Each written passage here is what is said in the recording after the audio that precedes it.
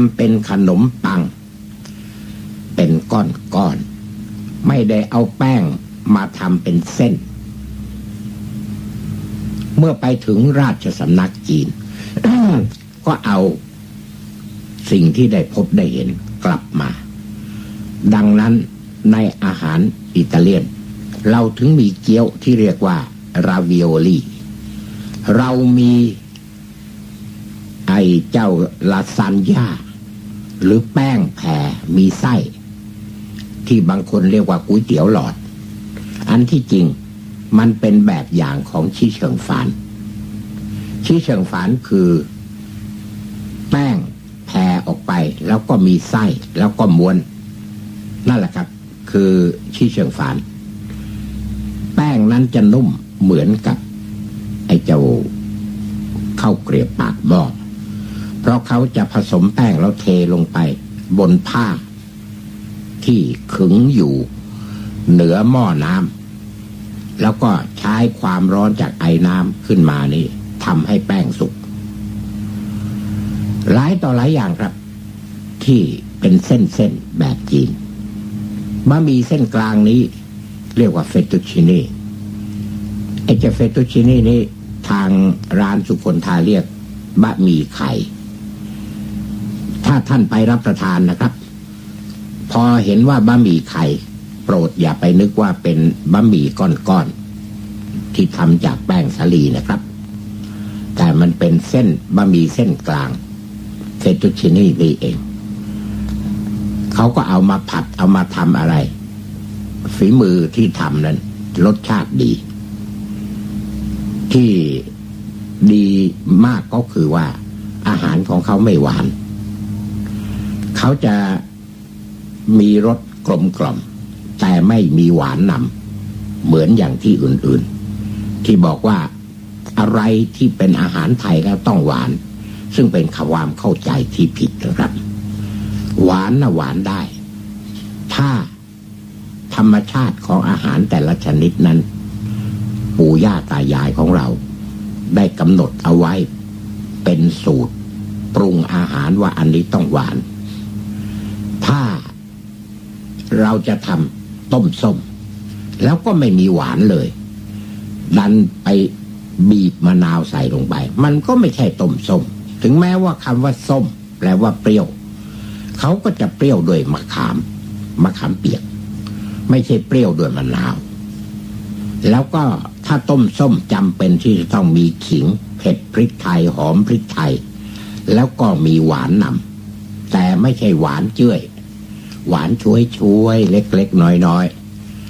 ๆ นั่นก็เป็นธรรมชาติของอาหารแต่ละอย่างแต่ละอย่าง ไม่ใช่เอะอะอะไรเนี่ย แม้กระทั่งแกงเผ็ด ใส่น้ำตาลเข้าไปอีก บางคนเอาน้ำตาลสายขาวใส่ลงไป มันก็ไม่เข้ากัน เพราะว่าแกงกะทินั้นน้ำตาลต้องเป็นน้ำตาลปึก เพราะมาจากมะพร้าวมาจากต้นตาล อย่างเดียวกัน เรื่องนี้พูดกันนานครับ ผมก็ดูรายการ ที่ทำกับข้าวในตอนเช้า ก็ดูดูผ่านผ่านไป แล้วก็ เออนึกชื่นใจว่า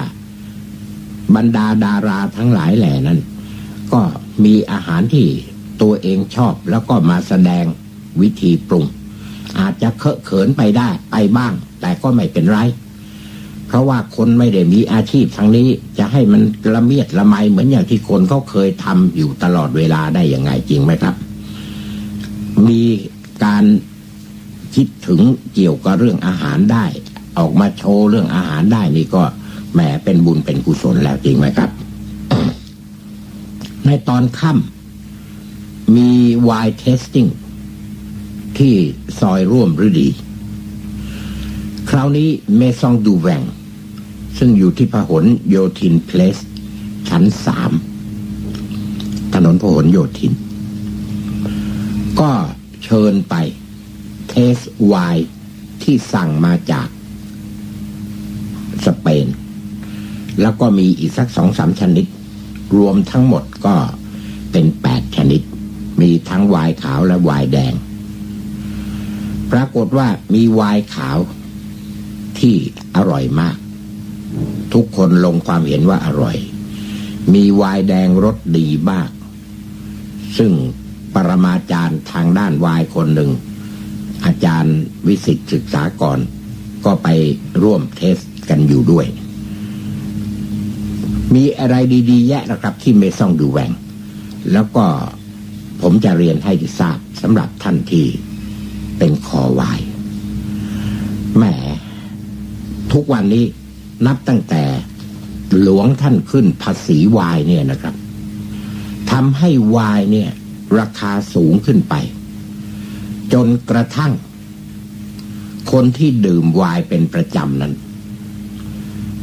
ลดการดื่มลง เพราะสู้ราคาของวายไม่ไหว ถ้าเราคิดกันในแง่ของ การตลาด การขึ้นภาษี แทนที่เราจะได้ภาษีมาก กลับได้ภาษีลดลง ถึงแม้ว่าขึ้นภาษีแล้วก็ตาม ถ้าคิดในด้านที่เรียกว่า จะเอาเงินจากภาษีที่คนเข้ามาดื่มไวน์นั้น มันไม่เป็นไปตามความคาดหมาย เพราะว่าเมื่อราคาแพงเขาก็ดื่มน้อยลง อย่างนี้นะครับ ถ้าพูดกันถึงด้านนักการค้าแล้ว เขาจะเอาจำนวนขายมากกว่า ถ้ามีจำนวนขายในราคาที่พอเหมาะพอสม โดยที่ภาษีไม่ได้ขึ้นรุนแรงมากมายนัก เขาก็จะดื่มกัน สมมุติว่าขึ้นไปสักสิบเปอร์เซ็นต์ เขาก็คงยังจะดื่มอยู่ แต่ถ้าขึ้นไปเป็นสี่สิบห้าสิบเปอร์เซ็นอย่างนี้วายที่เคยดื่มขวดละหกร้อยบาท มันก็จะกลายเป็นเก้าร้อยบาท อย่างนี้เขาก็เรียกว่าไม่ไหวจำนวนมันก็ลดลง เมื่อจำนวนลดลงภาษีมันก็น้อยลง แต่ถ้าคิดอ่านว่าจะปรามผู้ที่ดื่มวาย ก็สุดแท้แต่ท่านนะครับ ก็ยังไม่รู้ว่า ความมุ่งหมายจะเอาอะไร อย่างดอกเบี้ยเงินฝากนี่ก็เหมือนกัน เราต้องการเงินออม ในตอนนั้นเมื่อมีเงินออมมาก ก็มีทางที่จะไปเล่นงานภาษีเงินฝาก แล้วเป็นยังไงล่ะครับ พอจะหาเงินออมเข้าธนาคารกัน ทีหนึ่งก็มีมาตรการอะไรต่าง ๆ ฝากทุกวันทุกวันอ่าแล้วก็ไม่ถึงหกแสนอ่าจะไม่ต้องเสียภาษีเงินฝาก ก็ยังไม่ทราบว่าจะมีใคร คิดอ่านฝากอย่างนี้ เพราะมันยุ่งยาก นี่ก็เป็นเรื่องที่คนที่เขาฝาก แล้วกินดอกเบี้ยเนี่ย คุยกัน คิดคิดดูแล้วมันก็เหมือนกับเรื่องไอ้ภาษีวายนี่แหละนะครับ ถ้าขึ้นมาก คนก็ดื่มน้อยลง ไม่ต้องดูอื่นดูไกล ดูอย่างผมก็แล้วกัน คราวนี้ผมก็โชคดีนะครับ คือได้ไปร่วมงาน บริษัทวายอย่าง SLP Intermarketing ที่สั่งวายแอฟริกาใต้มาเนี่ยเป็นวายที่รสดี ราคา ธรรมดา เมื่อขึ้นราคาไปแล้วก็กระทบกระเทือน ขึ้นราคานั่นเป็นเพราะว่าภาษีเขาเพิ่ม ก็กระทบกระเทือน แต่สนนราคานั้นยังเป็นร้อยอยู่ ไม่ เป็นพันขึ้นไป เหมือนอย่างวายฝรั่งเศส ก็พอที่จะรับประทานได้ แต่ก็ต้องลดการดื่มลงไป ให้มันอยู่ในงบประมาณที่เราพอจะจ่ายได้ มิฉะนั้น วายแดงที่มีประโยชน์ ลดคอเลสเตอรอลทำให้ท่อทางของโลหิตนั้นแหมดี อะไรอะไรดีไปหมดนั้น มันก็จะทำให้เราเกิดเป็นโรคอย่างหนึ่ง ถ้าเราดื่มมาก โรคนั้นคือ โรคล้มละลาย คือดื่มจนเป็นหนี้เป็นสิน มันก็ต้องลดลง ตามสมควร นี่ก็เป็นเรื่องของอการดื่มการกินนะครับ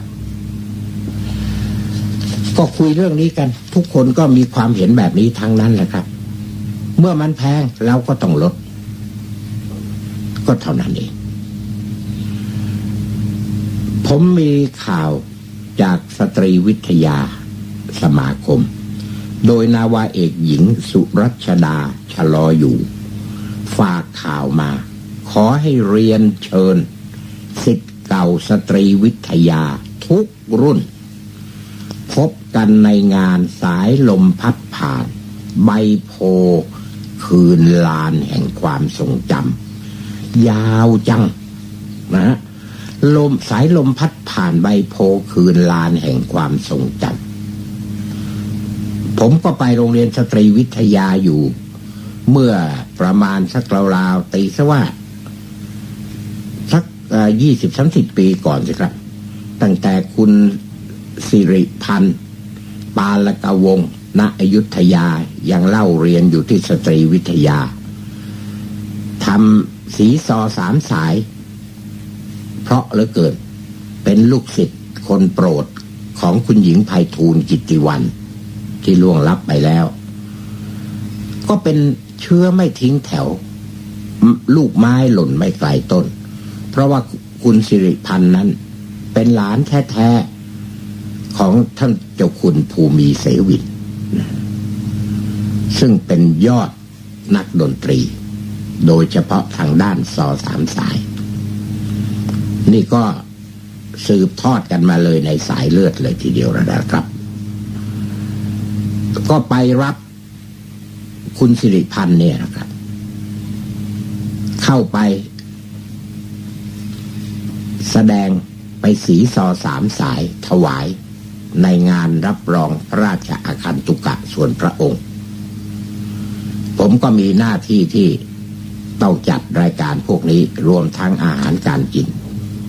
แต่มันเป็นเวลาที่ผ่านมานมนานแล้วนะครับ ตั้งแต่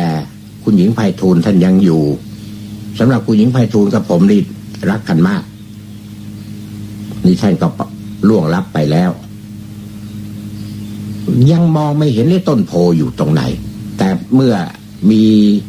ชื่องานว่าสายลมพัดผ่านใบโพคืนลานแห่งความทรงจำก็เข้าใจเอาตามนี้ เพราะว่านักเรียนเก่าสตรีวิทยาเนี่ยคงจะจำถึงสภาพอย่างนี้ได้ บรรยากาศอย่างนี้ได้ งานจะมีในวันศุกร์หน้านะครับศุกร์ที่ 14 มีนาคม เวลา 17นาฬิกา30นาที ที่โรงเรียนสตรีวิทยา จองบัตรได้ที่โรงเรียนเก่าของท่านนะครับ จองบัตรได้ที่โรงเรียนเก่าของท่าน ตั้งแต่บัตรนี้เป็นต้นไปครับ นี่ก็เป็นเรื่องของสังสรรค์ของ นักเรียนเก่าสตรีวิทยา ก็ยังจะมีสังสรรค์อะไรกันอีกเรื่อยๆละ ตอนนี้มันเป็นช่วงระยะเวลาที่ทางธุรกิจการท่องเที่ยว เรียกว่า low season คือนักท่องเที่ยว จะไม่มาเที่ยวต่างดินแดน มักจะเที่ยวกันใกล้ๆ ตอนที่การท่องเที่ยวมันบูมนั้น ก็เป็นเพราะว่าทางยุโรปมันหนาวจัด คนยุโรปนักท่องเที่ยวจากยุโรปก็หนีหนาว เหมือนกับนกที่บินมาจากไซบีเรีย นี่ก็บินมาจากยุโรปมาเที่ยวที่ภูมิภาคที่มีอากาศอบอุ่น แสงแดดแจ่มสบาย แต่พอถึงเดือนมีนาคม ก็เป็นเวลาที่หิมะละลาย ต้นไม้ต่างๆ ก็กำลัง ลิใบ ปลายเดือนนี้ ต้นไม้หลายอย่างที่เป็นไม้ดอก ก็จะผลิดอกออกมาให้เราได้ชม โดยเฉพาะอย่างที่เนเธอร์แลนด์หรือฮอลแลนด์นั้น ดอกทิวลิป จะบานในปลายเดือนมีนาคมต่อสิงหาคม แล้วก็จะมีการแสดง ไม้ดอก ไม้ทิวลิป ที่สวน ที่เรียกว่าเคิร์เคนฮอฟที่เนเธอร์แลนด์ท่านจะเห็นทิวลิปสีต่างๆ อยู่บานสะพรั่งเต็มสวนสุดสายตา แล้วก็ถ้าท่านไปเที่ยวก็อาจจะไปได้ดูการประมูล ไม้ดอกต่างๆ นานาที่อัลสเมีย นั่นก็เป็นฤดูใบไม้ผลิที่นักท่องเที่ยว ในยุโรปก็จะเที่ยวอยู่ในแถบใกล้ๆนั้น ไม่ได้มาไกลเหมือนอย่างนี้ทางโรงแรมและกิจการการท่องเที่ยว ก็ลดจำนวนนักท่องเที่ยวลงไป เพราะอยู่ในช่วงโลซีซั่นที่ว่านี้นะครับ ก็ต้องทราบกันไปด้วยว่าถ้าไม่เห็นฝรั่งมาอยู่เต็มถนนนี่ ก็จะมาถึงเวลาที่เขาเรียกว่าโลซีซั่นครับ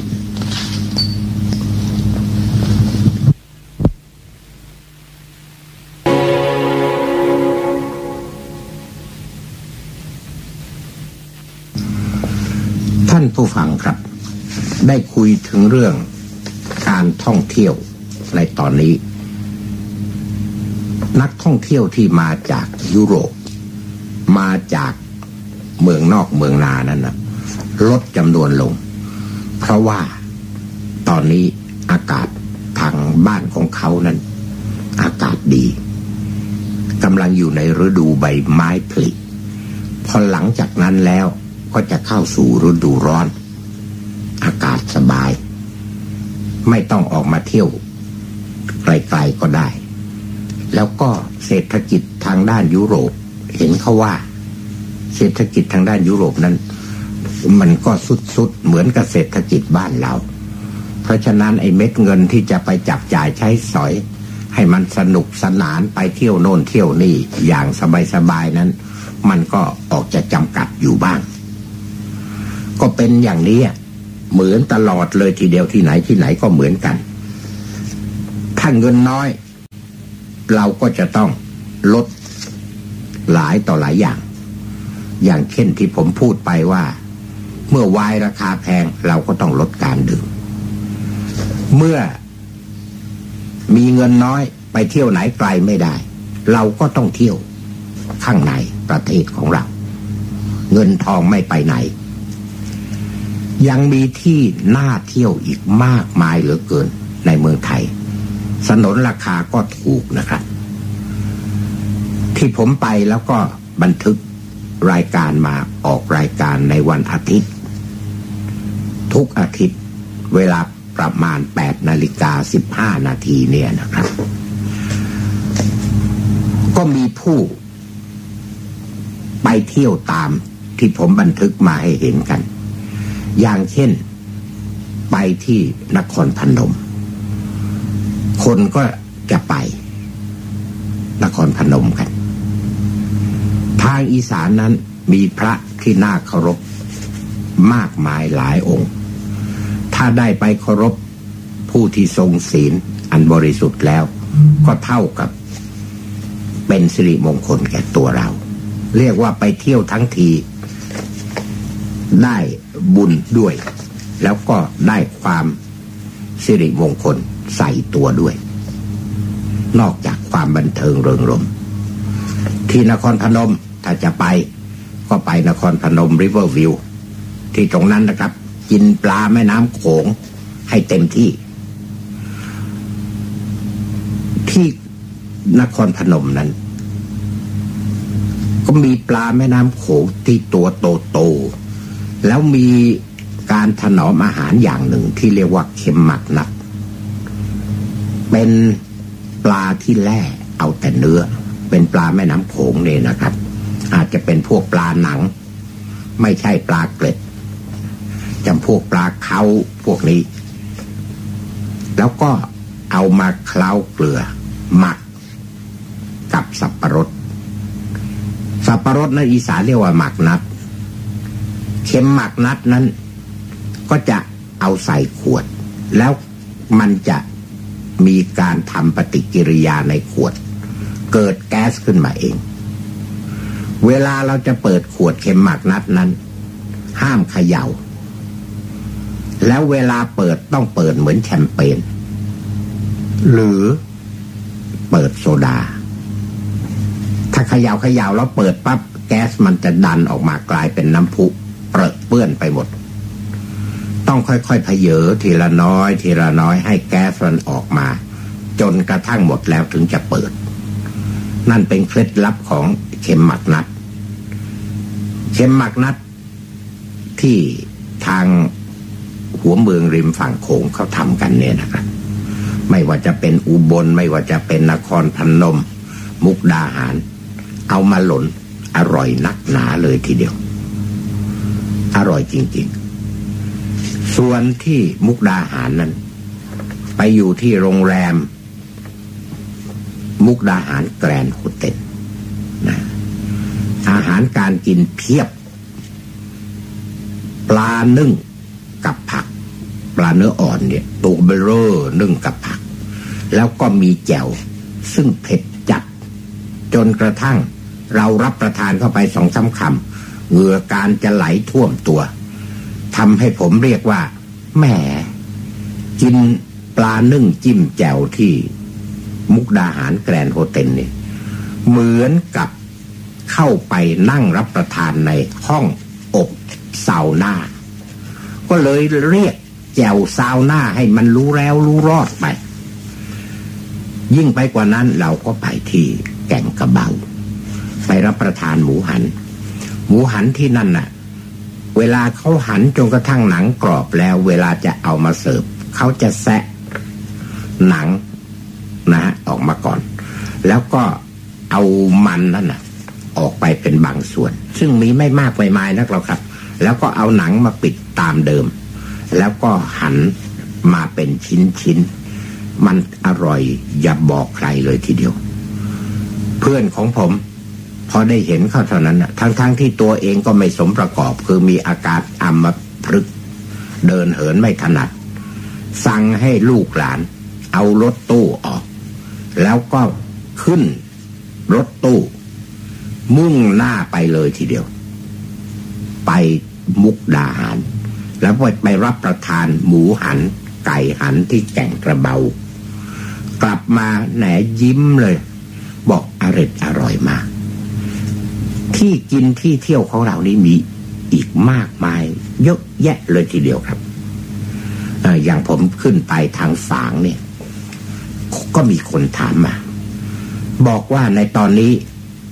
ลิ้นจี่สุกก็ยังโอ้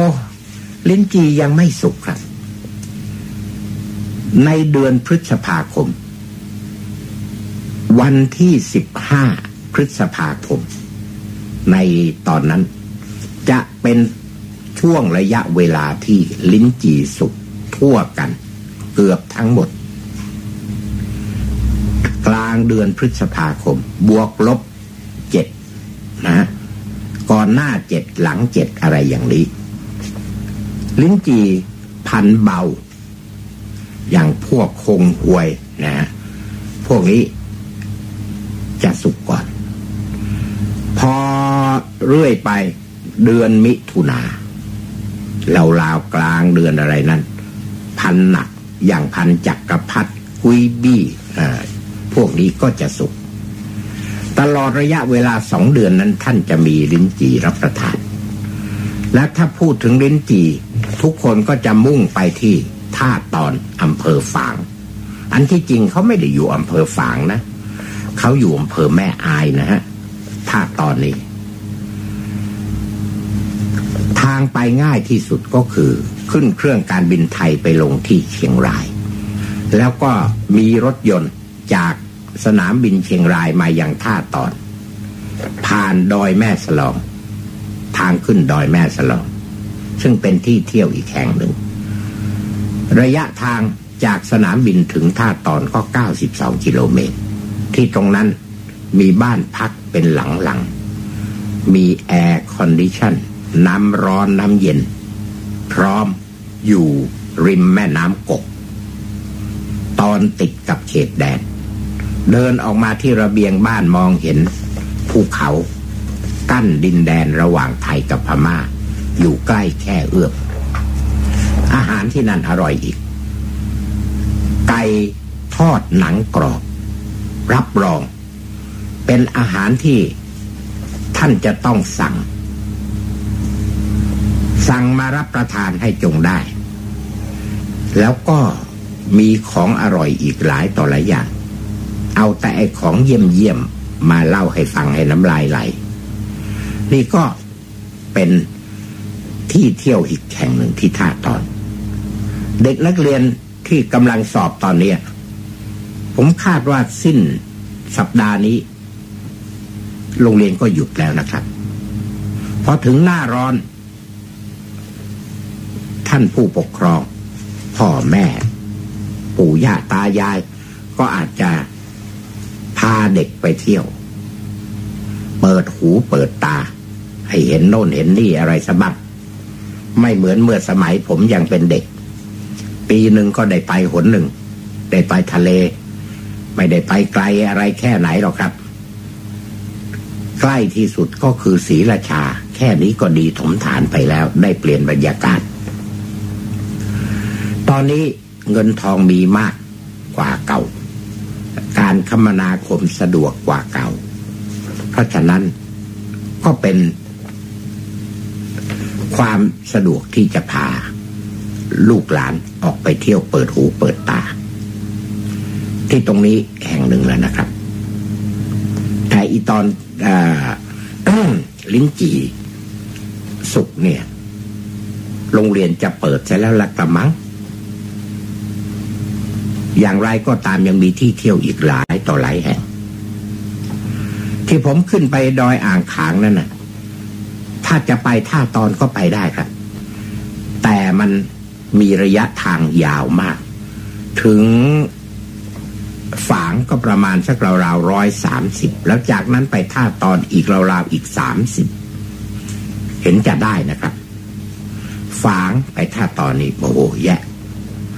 แต่ก่อนนี้ นักท่องเที่ยวนิยมไปลงเรือที่ท่าตอนแล้วล่องไปเชียงราย ตามลำน้ำแม่กกเดี๋ยวนี้ยิ่งสะดวกใหญ่เลยทีเดียวครับ ถนนหนทางดีมาก ตอนที่ผมขึ้นไปดอยอ่างขางเมื่อสุดสัปดาห์ก่อนเนี่ยนะก็ไปไม่ถึงฝั่ง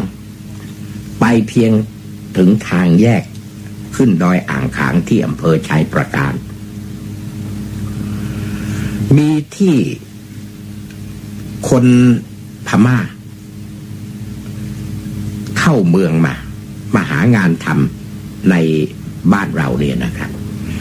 มีอยู่ช่องทางหนึ่ง ก่อนถึงคือถ้าขาไปจากเชียงใหม่ เลยเชียงดาวไป ส่วนขากลับ ฝางมาเชียงใหม่นั้น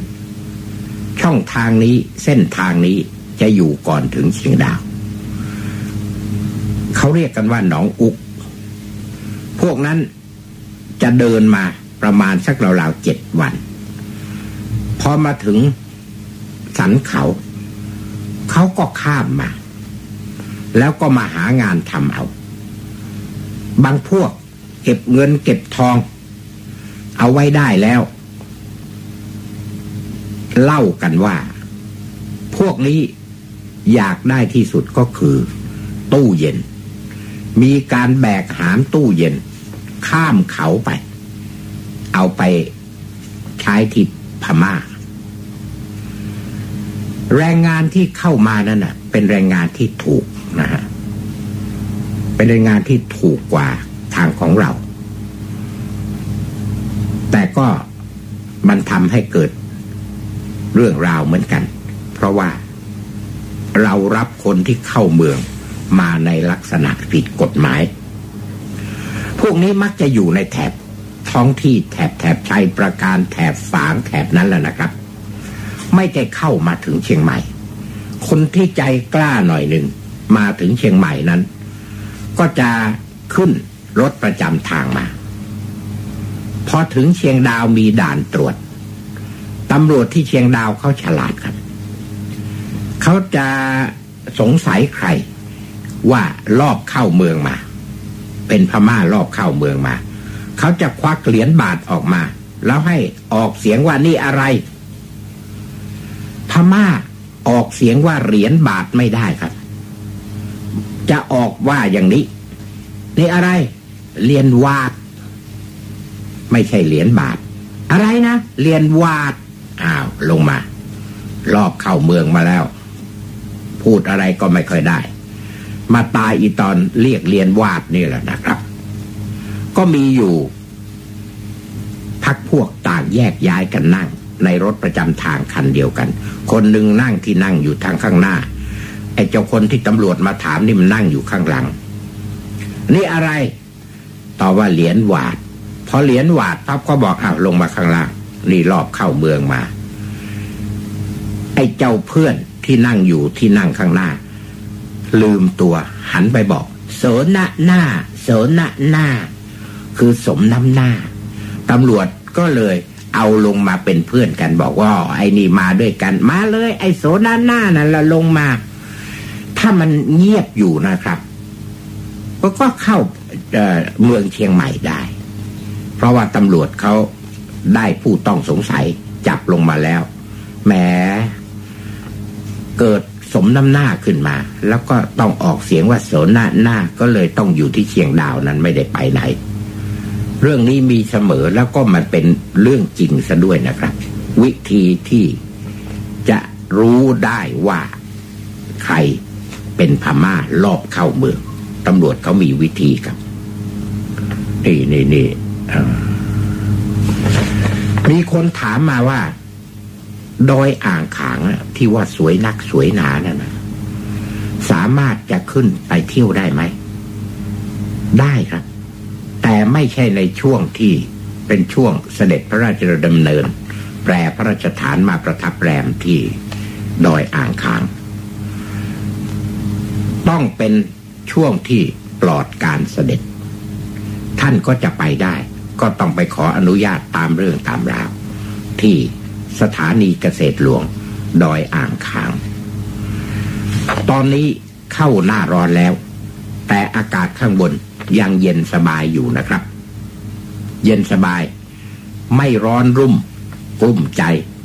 แล้วก็เหงื่อไม่ไหลเหมือนอาบอบสาวหน้าแต่ประการใด พวกไอ สตรอเบอรี่กำลังออกครับสตรอเบอรี่นี้นะครับถ้าเป็นสตรอเบอรี่ที่ปลูกในพื้นราบ ก็จะมีการฉีดยาแรงหน่อย เวลาจะเอามาบริโภคต้องมาล้างน้ำแช่น้ำหลายน้ำด้วยกัน เพื่อให้สารพิษตกค้างในผลสตรอเบอรี่มันลดลง น้อยลง จนไม่เป็นอันตรายต่อเรา บางคนที่แพ้กัดสตรอเบอรี่เข้าไปอาเจียนออกมาทันทีเลยทีเดียวครับ เพราะว่าไอริทของไอยาฆ่ามาแมลงทีนี้ก็มีข้อถามว่าเราจะรู้ได้ไงว่า สตรอเบอรี่ที่ไหนปลอดสารพิษ ขอเรียนว่าที่ทางเหนือนั้นน่ะ ถ้าเป็นสตรอเบอรี่ที่ปลูกในที่สูงอย่างแถวแถวเสมิงนะแถวแถวเสมิง แถบนั้นแหละครับ จะปลอดภัยหน่อย เพราะว่าผู้ที่ปลูกนั้นจะปลูกตามหลัก ที่ทางเจ้าหน้าที่เกษตรเขาแนะนำควรจะฉีดแค่ไหน ควรจะหยุดฉีดเมื่อไหร่ ก่อนที่จะเก็บผลสตรอเบอรี่ลงไปขายที่ตลาด ก่อนกี่วันจำนวนของสารพิษตกค้างมันก็จะน้อย อย่างไรก็ตาม ผมขอแนะนำว่าที่สสนามบินเชียงใหม่นี่นะครับ มีร้านของโครงการหลวงอยู่ ที่ตรงนั้นครับ ท่านไปหาซื้อสตรอเบอรี่เถอะ เป็นสตรอเบอรี่ที่ลงมาจากโครงการหลวง ปลูกอยู่ในที่สูง สารพิษตกค้างนั้นมีน้อย ก็จะปลอดภัยสำหรับคนที่ชอบรับประทานสตรอเบอรี่ ผมเป็นคนที่ชอบสตรอเบอรี่เหมือนกัน ขึ้นไปดอยอ่างขางเที่ยวนี้ มีสตรอเบอรี่พันธุ์ใหม่ สีสันไม่สวยครับ ซีดซีดสีซีดซีดไม่ได้แดงฉานอะไรเลย โอ้โห แต่รสชาติมัน หวานดีเหลือเกินตอนนี้ยังไม่มีมากเกินไป แต่เชื่อว่าอีกหน่อยสตรอเบอรี่ไอ้ที่สวย ที่ไม่สวย แต่รสชาติดีเนี่ยก็คงจะออกสู่ตลาด เป็นผลิตผลของโครงการหลวงนะครับ ถ้าจะเลือกซื้อก็เอาอย่างที่ผมเรียนให้ทราบนี้ก็แล้วกัน ก็จะปลอดภัย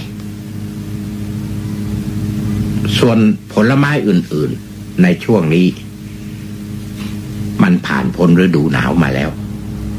มันก็จะมีภูมิประเทศเท่านั้นที่เราได้ขึ้นไปเที่ยวได้ไปชม ไปสูดอากาศบริสุทธิ์ เพื่อจะได้มีเรี่ยวมีแรงมาสู้มลพิษในกรุงเทพกันอีกต่อไปครับ เท่ากับไปชาร์จแบตเตอรี่ ก็ขอให้ไปเที่ยวให้สนุกสนานนะครับ ผมก็จะไปเหมือนกัน ในวันเสาร์เนี่ยนะวันเสาร์เนี่ยก็จะไปสุโขทัยเพื่อจะไปนมัสการหลวงพ่อศิลาที่ได้คืนมาจากอเมริกาหลังจาก ถูกโจรกรรมไป 20 ปีครับ สวัสดีครับ